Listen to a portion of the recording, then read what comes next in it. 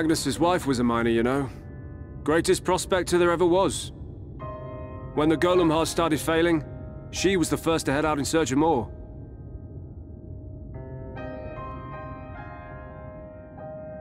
Problem was, most of the veins ran dry ages ago, and finding fresh ones to tap's only gotten harder.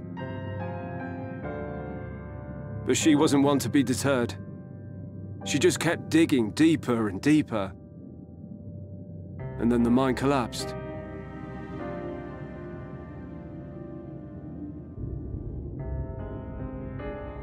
We labored day and night to clear away the rubble. But it took us two months to find her. To find her body.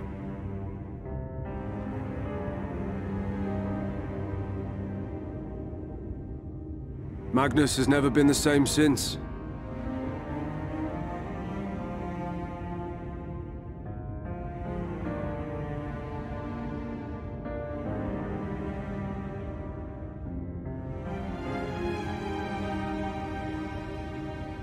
Where is he, if you don't mind my asking? Ah, yes, well, if he's not here, there's only one other place he'd be.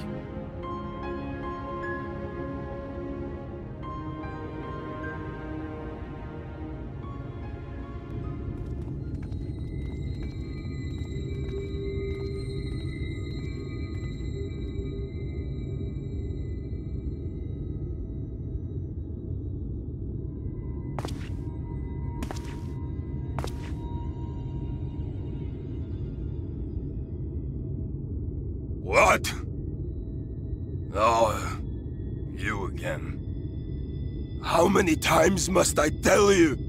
The trolley won't run! We'd be better off dismantling the damn thing and selling the parts for scrap. Now piss off back to wherever you came from. And don't let me catch you around here again.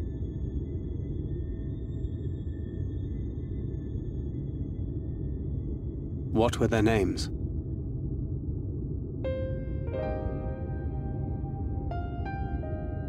My son was named Skuli. My wife, Agna.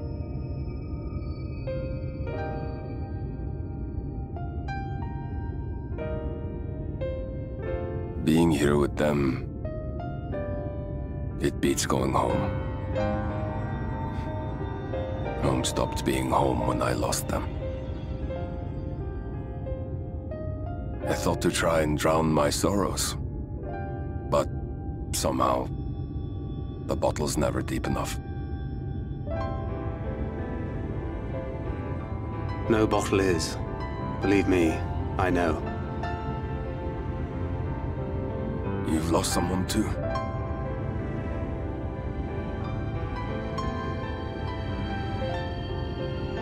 Not like you. Not my own flesh and blood. I grew up an orphan, so I never really knew what family meant.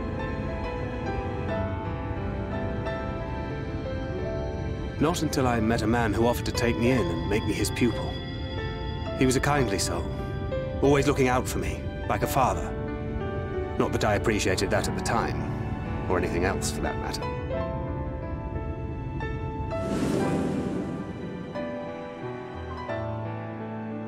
But I finally had a family.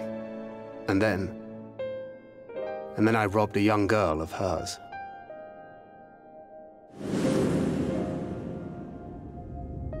I did my best to make amends, to offer her comfort. But the more I look back on it, the more I realize just how inadequate my efforts were. I let her down. That is why I refuse to let her legacy die.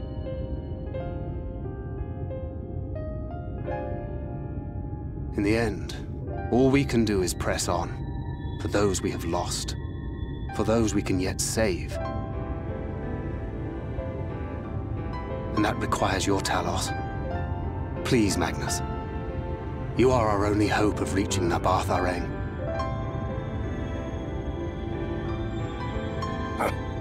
what rubbish.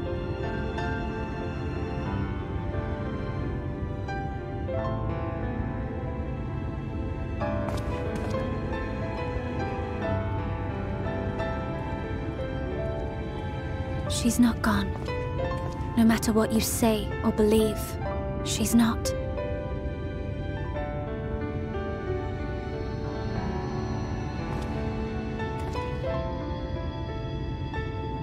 We can still bring her back.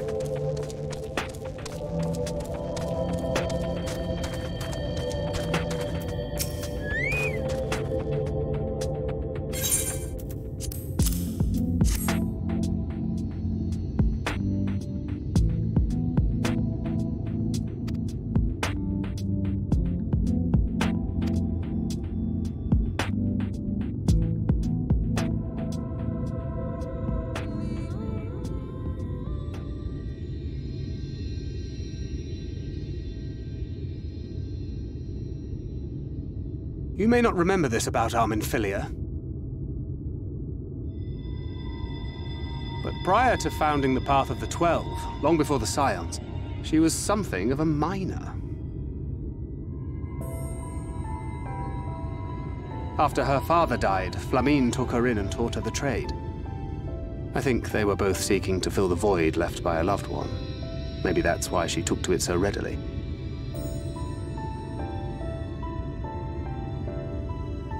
Back in those days, I spent most of my time in the Quicksand, or some other tavern, loosening tongues and gathering secrets. Occasionally, I'd catch a glimpse of her in the street, on her way home after another hard day's work.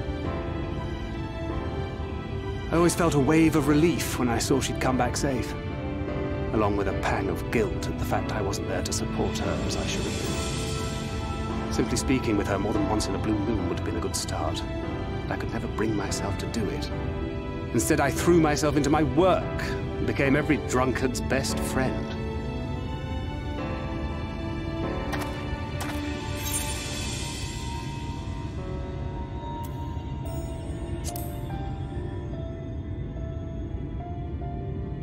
Not too highly, no. She once called me a wine-sodden wharf rat, which wouldn't have been half as galling had it not been so accurate. But that was a lifetime ago. Here and now, I have another chance to do things right, and I will not squander it again. Hey! Come and see what I found! You're not going to believe this!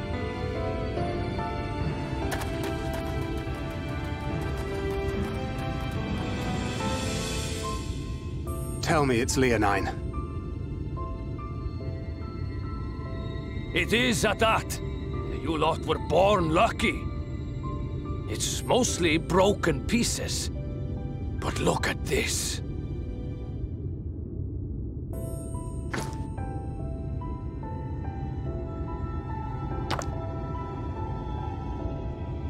This is a rather fine specimen. It's been decades since we found anything approaching this big. But that's not all. There's an engraving on it. Ah, these scratches here. They're a little hard to make out. To my beloved Magnus and Skuli.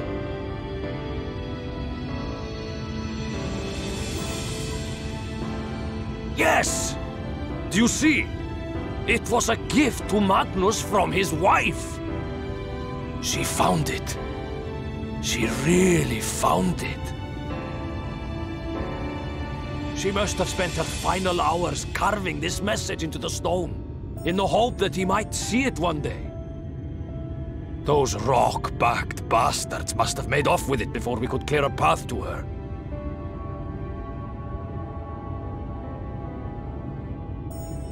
It's fate that brought you here to find this stone. No other explanation. It makes me wonder what else might still be buried in these parts.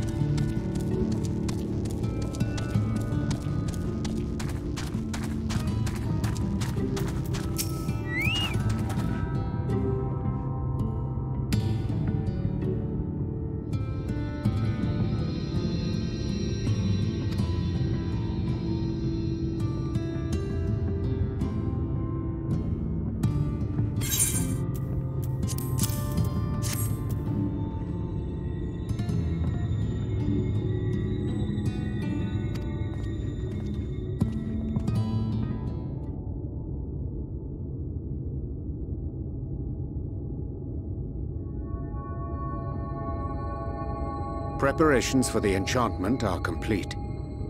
When the heart hath been suffused with a sufficient quantity of aether, the golem should be restored to life.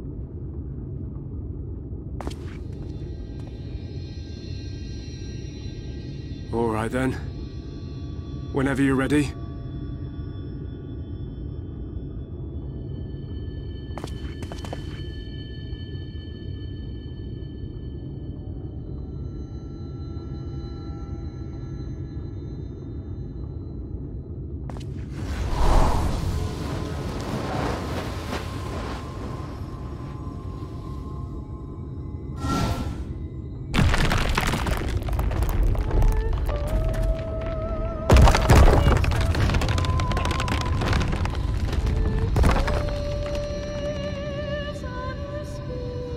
Working! It's working!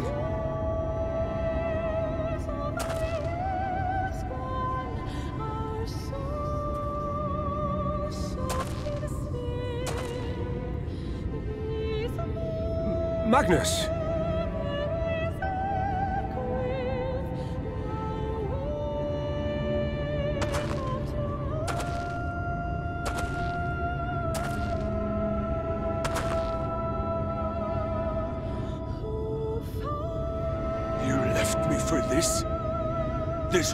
Wretched heap of stone and rubble?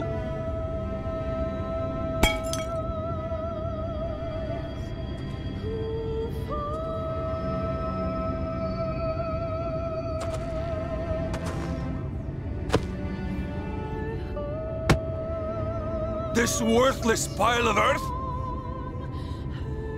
And yet, I can't. I can't.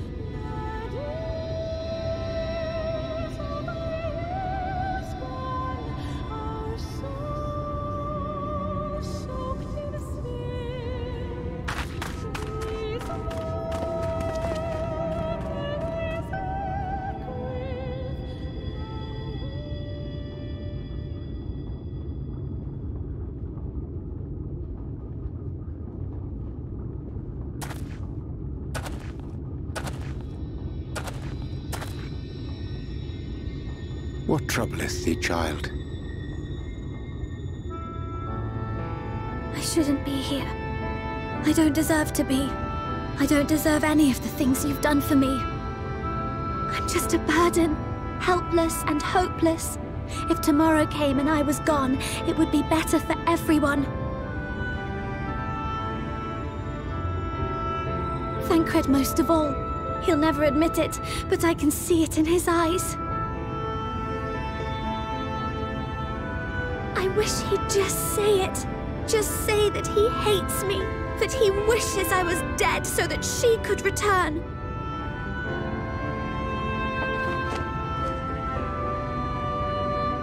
None of this is thy doing, child.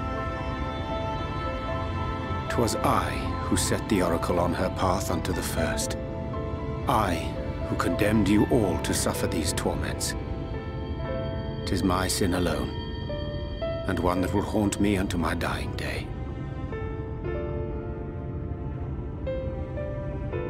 Yet I dare not dwell over long on my many regrets, for the world is a tapestry of fates, interwoven and inseparable. And we who strive to better it cannot choose but make difficult decisions. For naught of worth was ever achieved without sacrifice. And thus must man ever struggle to weigh life against loss.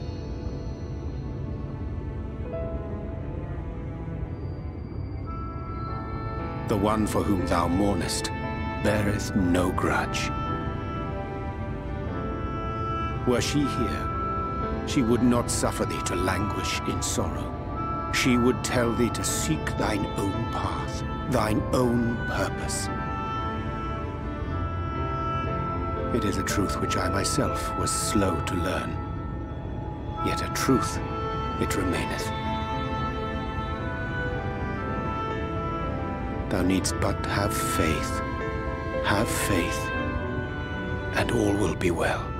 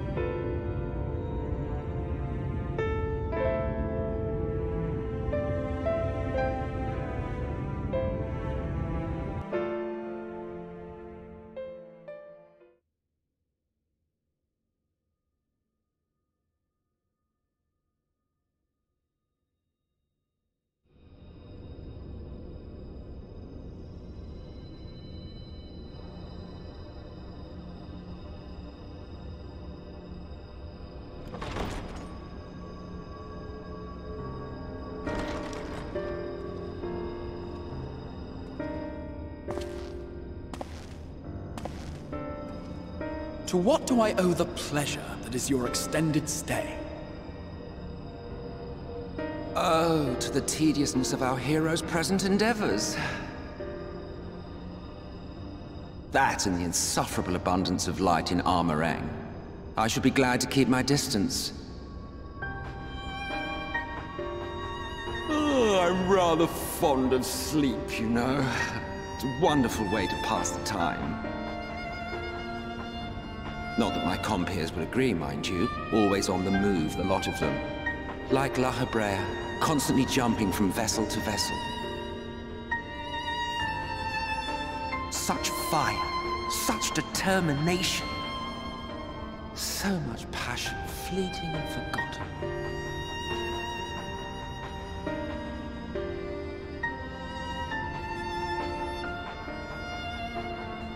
Come to think of it, Exarch, I don't believe I've ever seen you retire to your chambers for so much as 40 winks.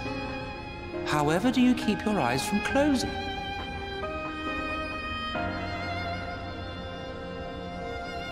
The cold shoulder. You wound me, sir.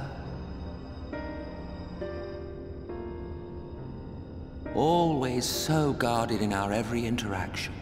Interactions you curiously refrain from sharing with the Scions and their champion.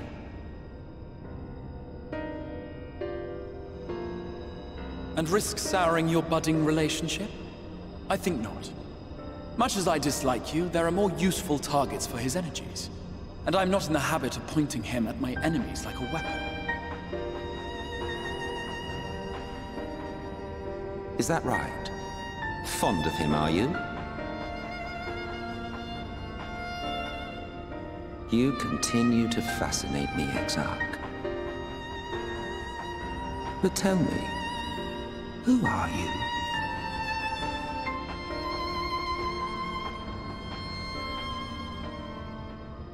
The once great nation whose ingenuity gave birth to this tower was shaped by my hand. As such, I know full well the wonders it can facilitate and those it cannot. There is nothing in these walls which could have aided you in summoning our dear friend across time and space. Much less in possession of his mortal flesh, not even I could have performed such a feat. I see. You had a hand in Allag as well.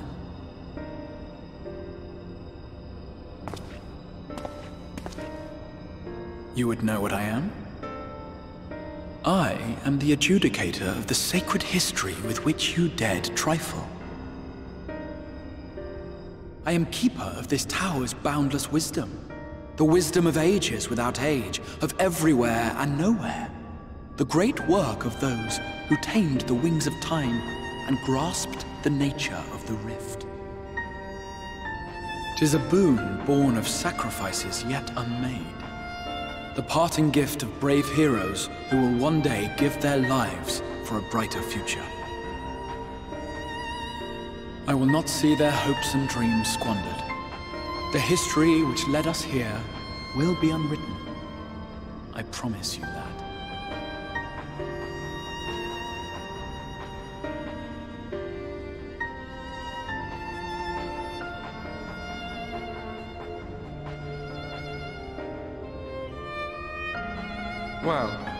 it seems we're both eager to fulfill our duties then. On that much, we are in agreement.